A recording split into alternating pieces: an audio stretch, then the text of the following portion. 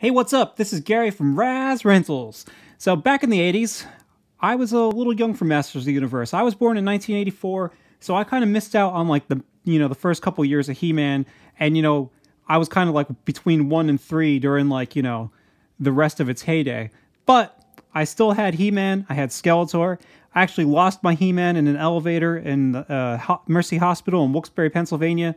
So if you found that way back somewhere between 1986 and you know 1991, please send me a message, and uh, you know I, would like to get that back. But uh, you know I also had some of the cool later things like Spydor, and I think it was called Manosaur. You know, just a bunch of really awesome things, and it was a really cool line back in the day, right? And you know, even though I didn't have a lot of Masters of the Universe because I was busy get buying Ninja Turtles and Ghostbusters and whatnot, uh, it didn't matter because you would go over people's houses and everybody had a ton of Masters of the Universe toys. So it didn't matter if it was a boy or a girl, you'd go over their house and they'd have, you know, Merman, Man at Arms, Castle Grayskull, the Snake Man, you know, everything you missed out on. But there was always one figure that, like, I was always really jealous. Like, man, I wish I had that guy. And that guy was Trapjaw. When I saw that they were releasing Trapjaw in this new Masters of the Universe Origins line, I thought, yes, I want that and I need that. That thing's awesome looking. You know, this guy looks like an awesome upgrade of the original Trapjaw toy. And, you know, at first I didn't want to get a bunch of these Masters of the Universe Origins toys because as an adult now, I have a decently sized um, Masters of the Universe retro collection. But I figured I definitely want to get Trapjaw and I want to get some of the other figures that, you know, are too pricey now. Like Scareglow, I want to get him. I want to get uh, Clamp Champ, I think is his name you know, some other ones. But so I was like, yeah, I'm just gonna get like you know, you know, maybe three, maybe four of them. But then I bought Skeletor, and then I bought He-Man, and then I bought Battle Cat, and then I bought pretty much everything I could find. And now I've got a problem. Just got to find three more. Now, like I said, I don't really know, remember too much about like the packaging of the old He-Man toys, but I do appreciate what they're trying to do here. I do appreciate that they're trying to give it that old classic look of the 80s toys, you know. And I ordered this from Walmart.com. It was like one of those deals where um, it went up for sale at just like a random time during the day. And I was able to, just randomly checking Walmart.com, I eventually found it. And on the back here, you have Heroic Warriors, the Evil Warriors.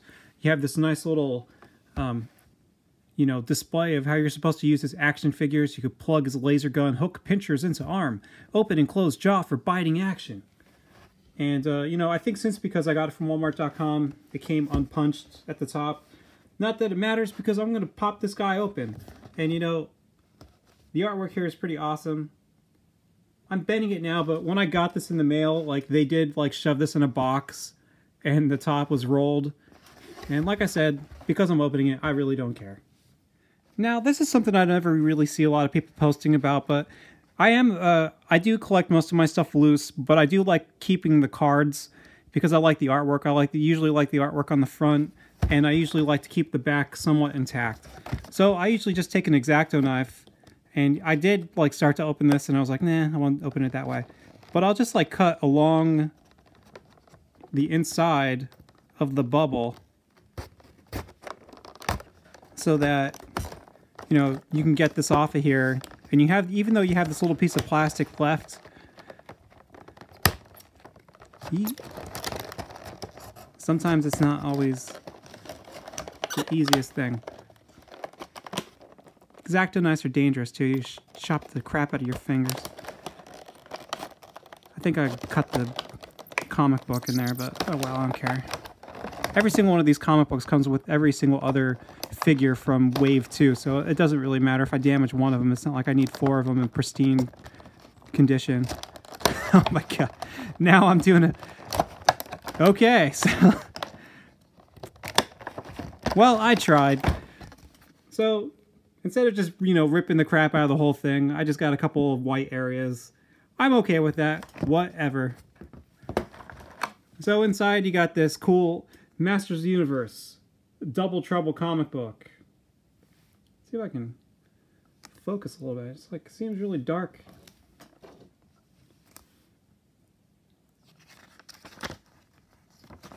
Neat little comic book inside. I like, you know, and like I said, for people who missed out on Scareglow, this line is essential because, you know, would you rather pay $300 for a complete Scareglow or would you rather pay 15 bucks at Walmart or soon to be every other store?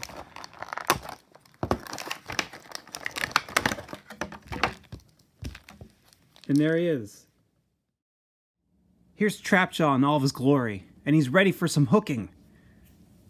I think this is awesome. You know, I think it's great that they're able to take the original um, design of those old figures and, you know, just add some articulation and make them like a brand new, awesome figure for you to have on your shelf. His, uh, his head is like a ball jointed head.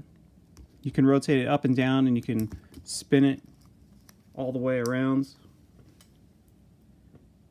Um, his jaw does open and close. So if you want, you can pretend he's talking to your guys.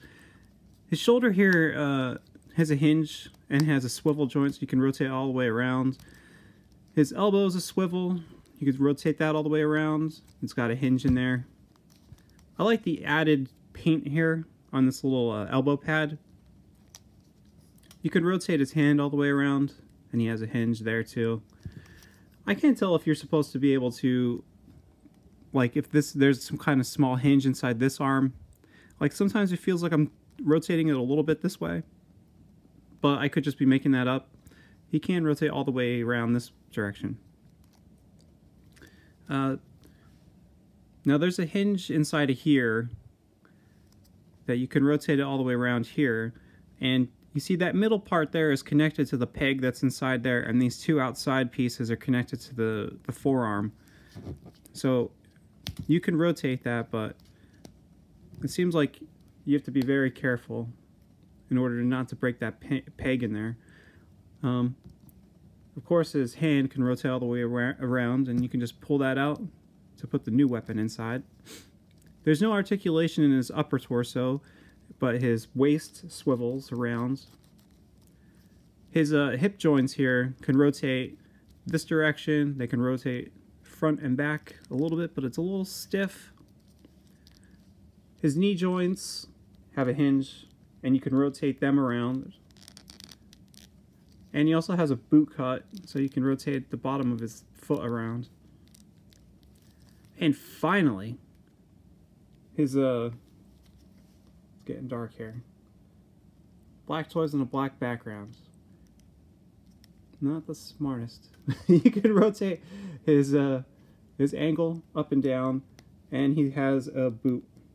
I'm sorry, a ankle rocker, so you can rotate that around. So you can get him into nice, a lot of nice poses. It's pretty good, and uh, his belt is nice and tight. The original one is very loose, so this one, you know, it's really tight on his body. Um, the holes in here are very tight. The pegs for these weapons fit in really nicely and don't um, like on my original trap jaw, like the, the stuff falls out all the time, but these do not fall out. These are very sturdy. They're very uh, grippy, you know. Um, I, so much so that it's actually kind of hard sometimes to get like I was having trouble with this gun and I started bending the peg and I was a, a little worried about that. But you know, you just gotta try to get it in there the right direction and you're good to go. And you know, you just pull this off here. You could pull off whichever piece and put that in there. And he's ready to fire on He-Man and the Heroic Warriors.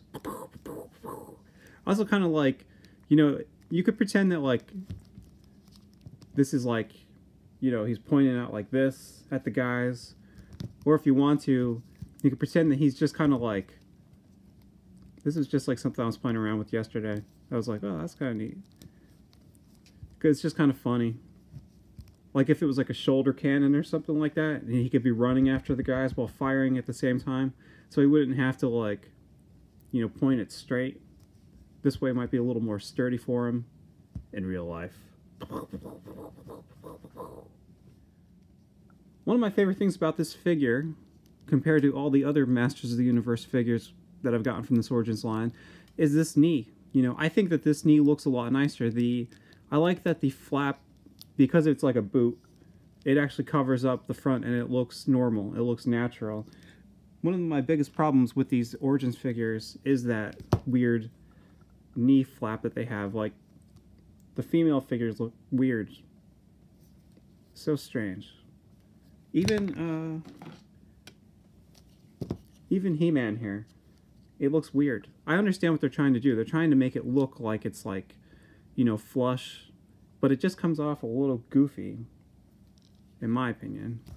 But if you have a character like Trapjaw who has these boots that go above the knee, it works out just fine. It, it it's a very nice uh, cut or whatever. When it comes to Trapjaw's weapons, these are very similar, except uh, there's no, I guess there's no hook on the original one.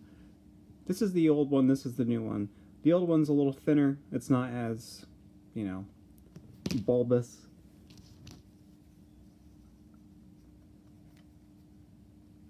The older one of these is a lot wider than this new one. This one's a lot flatter. It's like if you look at the profile, it looks the same, but on top it's a lot different.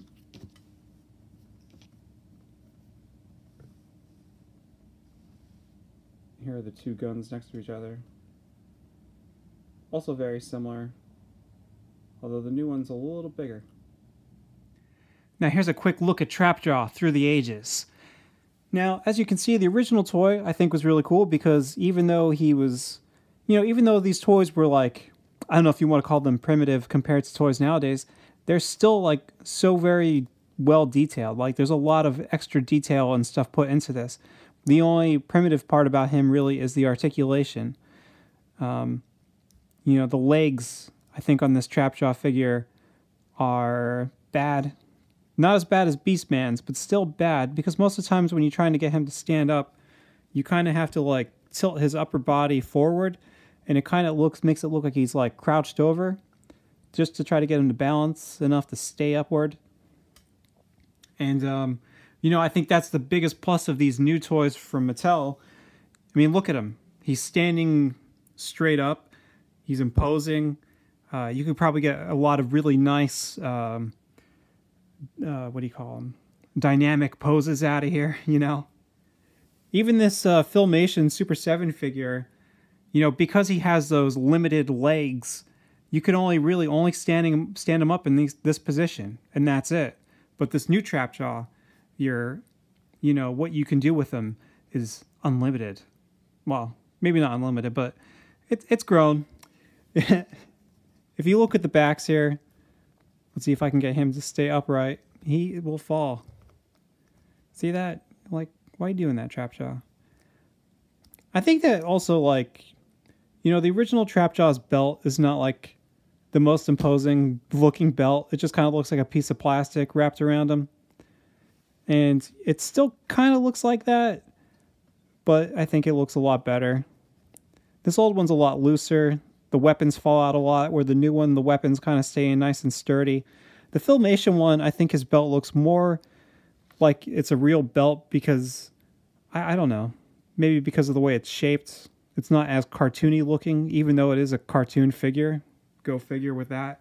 um, but you know, they did such a really nice job of copying the details, bringing it into the new era, but you know, improving upon it not on sculpt, but just on um, articulation.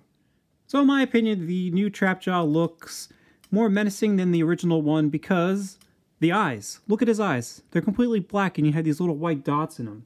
He looks almost demonic next to the original Trapjaw. The original Trapjaw looks cool and imposing, but he looks a lot more like manic he looks like uh, maybe he's a little coked out or something. He's all his eyes are completely wide, like, "Oh, He-Man, where where is he? I gotta find him. I gotta find him. Where is he at?" You know, where this this Trapjaw looks more like, "He-Man, when I find you, I'm gonna eat the flesh off your bones. I'm gonna rip off your arms and send them to your father for Christmas." You know, like he's he's uh he looks a little scary. You know.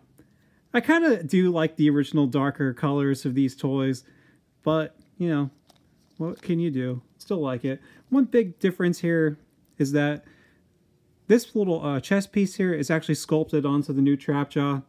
On the original one, this piece is removable. You could actually pop this arm off and take that out. It's a separate piece. But that is not a possibility with this guy. Alright, so enough gushing. Let's get to some negative things here. Alright. Okay, first negative problem I have. I like how the original face is a lot sharper and, you know, crisper looking. Even though I, I kind of like the eyes on this guy a little more, just because it makes him look more evil. I kind of like how the old one was a little crisp. Um, this one is very soft. Next, um, some of this paint here is worn in the in the legs. Like it was like this in the package even before I opened it up. These little green spots have little black spots. And my other, my final negative thing is that, you know, I wish they would get a little more creative sometimes with these Trapjaw figures. I understand that, I mean, this is the, the three accessories the original came with, so we got to have them. But at this point in time, it's like if you watch the original Masters of the Universe cartoon, Trapjaw had many different hands. I wish we could get more hands. I wish they would give us, you know, like six or something, some other kind of offensive weapons or whatnot. Give me something. These are kind of like the Star Wars special editions of action figures, only these work and they don't suck. You know, you get to experience these old 80s toys, but reimagined with new articulation. Um, it's like the same thing over again, but also something brand new. And you know, I think it's cool that they they're obviously trying to go for that original appeal of these figures. They didn't just try to reimagine these toys as like some kind of futuristic design like they kind of did with the 2000X series. I do like that series a lot too. Look at this guy. Who couldn't love this 2000X Trapjaw? He's like super detailed. He looks like he'd eat the old trap jaw for breakfast. The only problem is he stands really stupid too. You have to bend him backwards like this in order to balance him. But, you know, it's cool. Like, there's a lot of, you know, I don't know if you call it fan service or whatever, but they're doing a really good job of appealing to, you know, people like me who are old now and still like to collect these toys. And hopefully kids love to buy these toys too and play with them. I'd like to know how many people are actually buying these for their kids and how many people are actually buying them, you know, just for adults. Now, one thing I'm also curious about too is Pixel Dan is always talking about how you can like pop off all these arms and legs and stuff like that and like exchange them between guys. Like, is that just like an accident that like he found and kind of like, you know, just kind of t- started talking about. So now, like Mattel's like, yeah, yeah, you were so you're supposed to pull these guys apart and put them together, or is that like is that what they really intended all along? Well, anyways, thanks for watching. Let me know what you think. Up next, I'm gonna do a Scare Glow review. I never had a Scare Glow before. I never knew about him growing up, but he's one of those figures that I always wanted after you know finding out about his existence. So, talk to you later.